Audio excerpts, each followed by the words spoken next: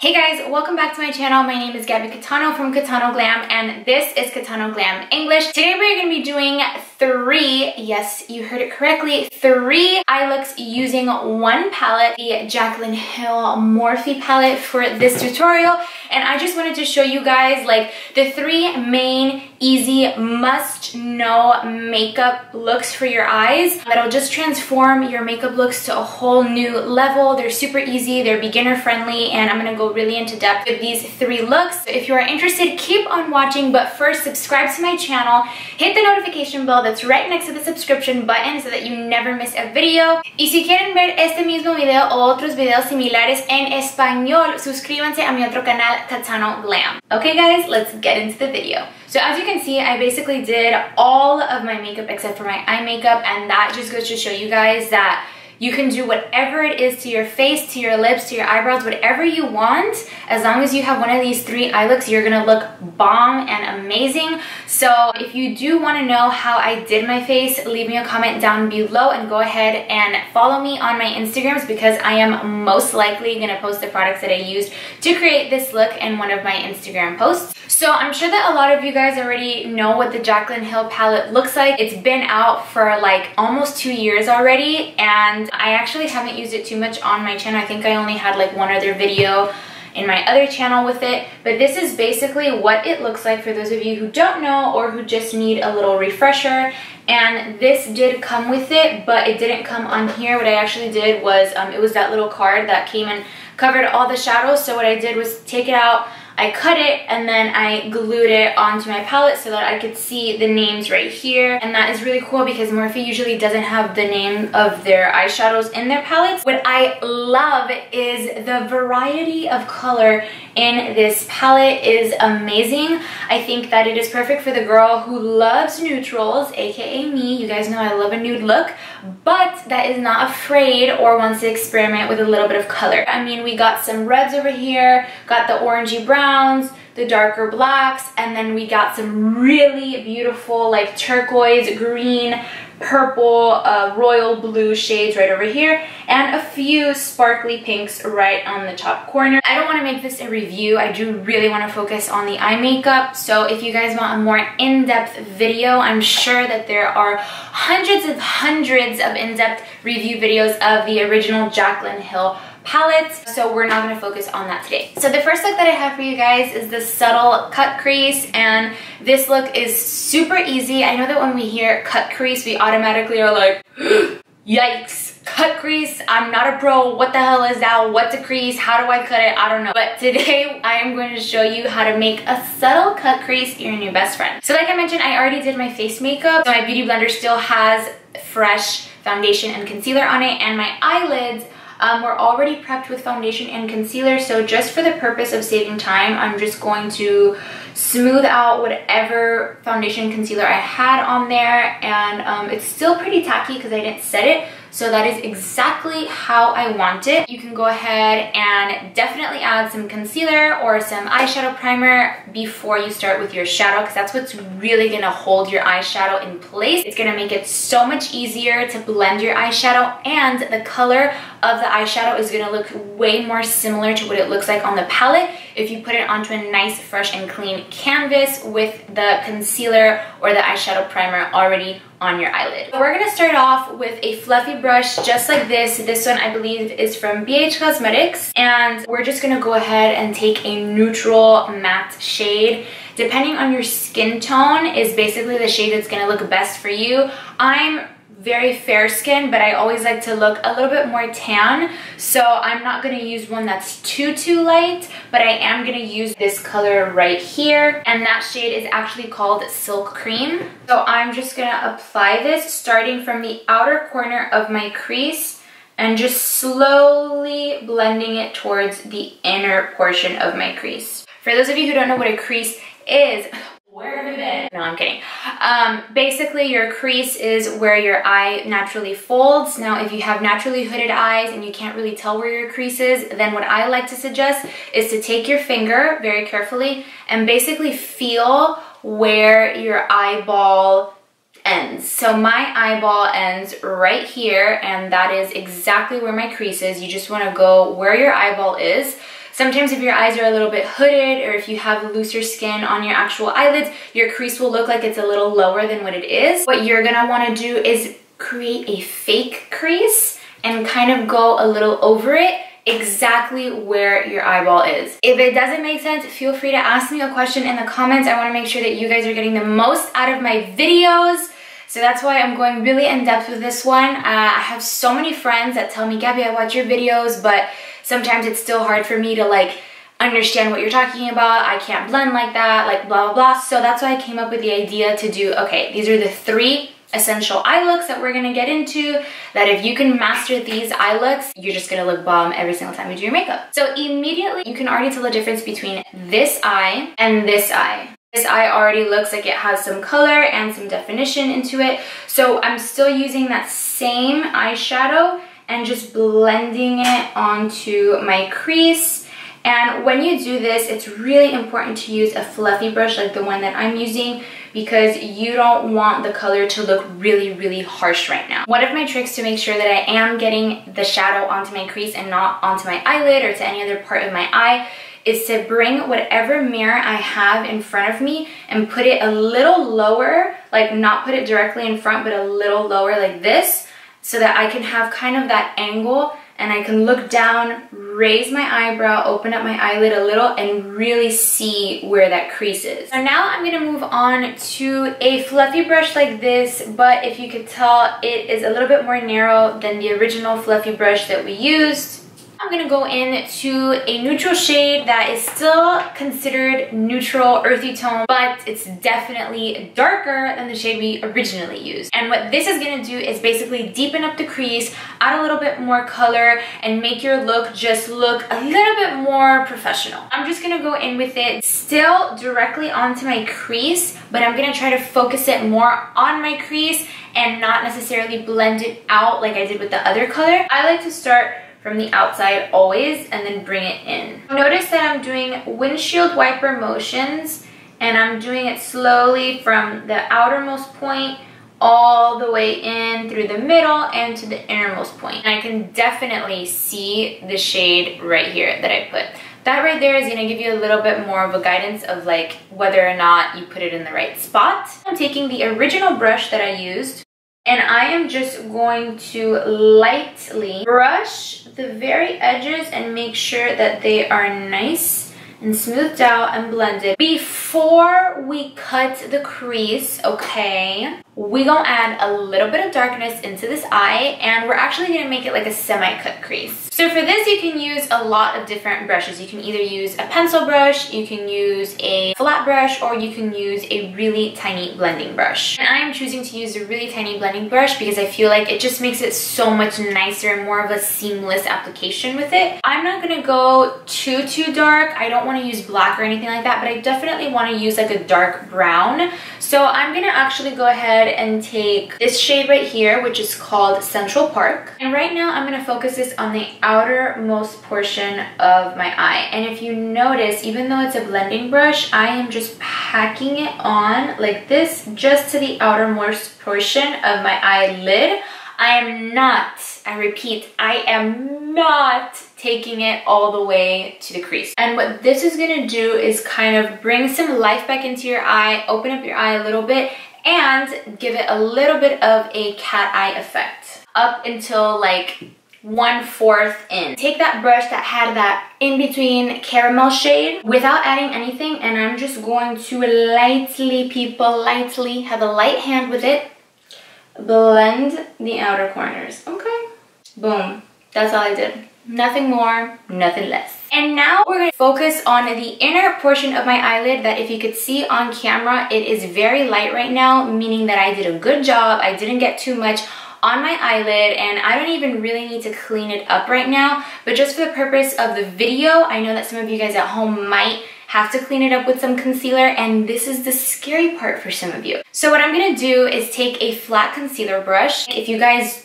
don't have a flat concealer brush, you could also very carefully use this finger to apply a little bit of concealer, but I definitely recommend investing in a flat concealer brush. We're not gonna be going too crazy with the crease. That's why it is a subtle cut crease. I'm just taking some Becca Ultimate Coverage Concealing Cream in the shade Banana. And I'm gonna go ahead and just very lightly just pat it on, okay? This part is a little scary, so if you guys want to first make sure you're not going too high up, pat it directly onto your eyelid, not into your crease, and then look like that and try to look maybe up a little. Wherever it transfers to, that concealer is the absolute highest point to where you can get the concealer to go. You don't wanna go any higher than that. That's where you wanna put the concealer. And this is going to help you right now if you have those hooded eyes, if you have you know, loose skin up there to really give a chance to open up your eyes a little bit more and to make it seem like your crease is a little higher than what it is. And now take that brush that had a little bit of the darker shade, kind of blend in towards the concealer because I don't want there to be any harsh lines when that concealer dries. So now that we got that blended, all I'm gonna do is take a flat brush like this and go into literally whatever shade I want. This is when you guys can get creative. This is when you can either play it safe and go with a light neutral shade that kind of matches your concealer shade, whatever that means for your skin tone, or you can go and add a pop of color if you wanna make your eyes a little shimmer, a little glittery. This is the exact part where you want to add that. I am going to give it a little shimmer just because this is a look that you guys can transform from daytime to nighttime. I'm gonna add a little bit of like a rosy pinky tone, which is actually called Sissy. And make sure to dust off the excess, especially for shimmer shades, guys. And I am going to use the press and glide method. So you basically press it and you swipe it. You want to make sure that you are not going above that concealer line. Once you get to about right here, which is kind of the middle, you don't want to go with the shade all the way to the end. We're going to go back in with the brush that had a little bit of the darker shade and we're just going to blend again. You are done with the hardest part of the eye look. This is your semi-subtle cut crease and you didn't have to do anything crazy and all I'm gonna do is add a little bit of shadow on the bottom portion. So I'm actually gonna take that same brush that I had with the residue of the darker shade and add it to my lower lash line. Adding shadow to your lower lash line, no matter what size eye you have, is always a great way to make your eyes look even more bomb.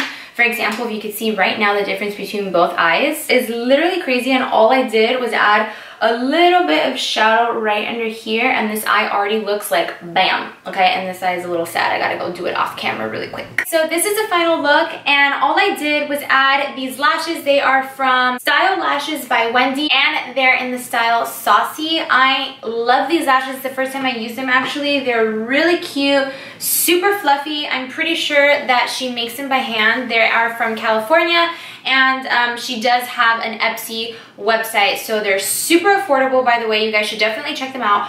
But Besides that, I love this look. I think it's super easy and um, I am ready to basically do whatever the hell I want in this look. I'm feeling good. I'm feeling cute. Honestly, make this look your own. If you try this out and if you do a look that is similar, please tag me on my social media handles, which I will leave right here and they're also linked down below.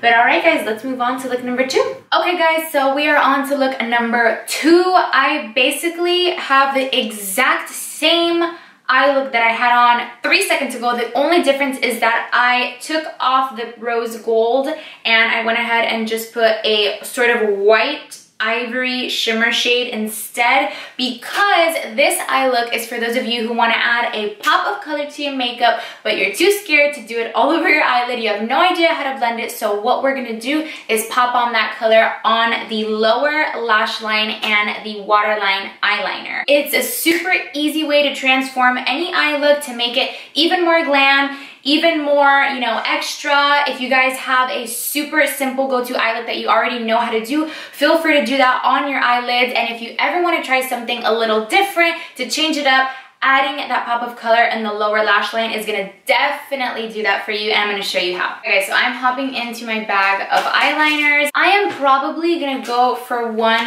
of the purple, blue, turquoise shades just because that's the pop of color that I see here other than like a red and an orange and I love purple turquoise greens. I think that they look beautiful. So I am just gonna use this eye pencil from the brand L'Oreal and it is the Infallible Longwear Eye Pencil in the shade Cobalt Blue. Making sure that I'm applying it directly on that waterline. I'm applying it from the very, very outer edge all the way to the very inner corner of my waterline. And I'm also trying to get like right into the root of the lashes because I want to make sure that this is super, super blue. I don't want to have any spaces at all. And you definitely don't need to use an eyeliner in your waterline at all if you don't like that. If you think that your eyes look smaller with that, then go ahead and just opt for the shadow that I'm gonna show you in a second. Once we have achieved that eyeliner look, I am just gonna hop into this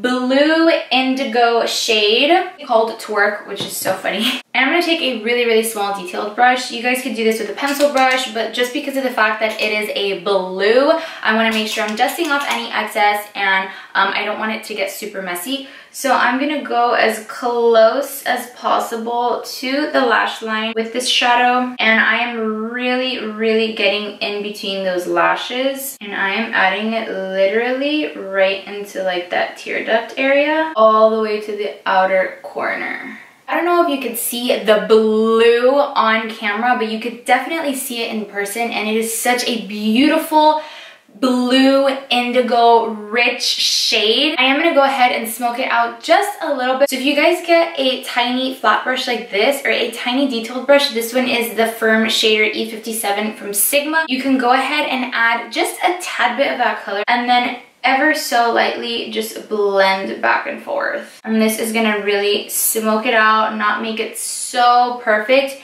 and just further emphasize that blue. If you guys wanted to take this just a step further, you can totally put a blue or a purple, like whatever color mascara, even a brown mascara that you have on the lower lash line, and it's just gonna give that pop of color an extra push. I think it makes the look look so much more glam. You could do this literally to any look if you have a smoky eye, if you just have your winged eyeliner, some lashes, and this indigo blue color on the lower lash line, you are gonna look amazing. All right guys, well this is what look number two looks like. Both eyes are beautiful, super easy, super quick, probably the easiest and fastest way to get a bomb eye makeup look. Another trick that I didn't mention that I love doing, instead of popping a bright color under my lash line, what I will do is apply a glitter and I love using these Stila liquid metals. Who's a fan of this look? Let me know in the comments down below if you guys have ever tried this before and if you liked it, if you didn't like it, or if you are planning to try it in the future, also tag me in all your recreations on Instagram. I'd love to see what you guys come up with after watching this video. Okay, let's move on to the final look. It is the funnest look of all, but it also seems like the hardest look to a lot of people, and I promise you, it's not. So let's get into it. We are here, we're at the home stretch, the third and final look, guys. You have made it this far so far. You cannot stop watching yet. So the final look is gonna be a smoky eye and I feel like this is the perfect look to teach you guys because a smoky eye doesn't necessarily mean a black eye. It means the type of eyeshadow that you're doing looks really well blended, really smoked out, and you can really do any type of color that you want and create it into a smoky eye. You can use a brown, you can use a gray, you can use a black definitely if you want, or you can use any other type of color. So I'm gonna use a bright red, but literally every single step that I am doing, you can repeat with any other matte shade out there. It doesn't matter what color. I did put a little bit of concealer so that we are ready to go and start with this new look. What I'm gonna do is take a clean flat brush and I'm gonna take this burgundy red shade. It looks a little brown on camera, I think, but in person it is a burgundy red and it is actually in the shade Jax. Make sure to get a really nice coat onto my brush and definitely dust off the excess. So the way you start a smoky eye is like little by little. It's all about blending. It's all about technique, guys. And this could be a little hard at first, but I swear once you get it, it's gonna save you out of all your problems. It doesn't matter what eye shape you have. It doesn't matter if you have, you know, hanging skin, a hooded eye, if you have a small eyelid, any type of eye shape looks amazing in a smoky eye and you can ask any makeup artist that and if they're a true artist they're gonna know that it's true. As an, an artist myself, whenever I do a smoky eye, it doesn't matter what eye shape they have, it always comes out looking good. There is a misconception with smoky eyes that people think it's like that look that I taught you before, the subtle cut crease, that it's like darker on the ends and lighter on the inner corner. Okay, no, that's not a smoky eye.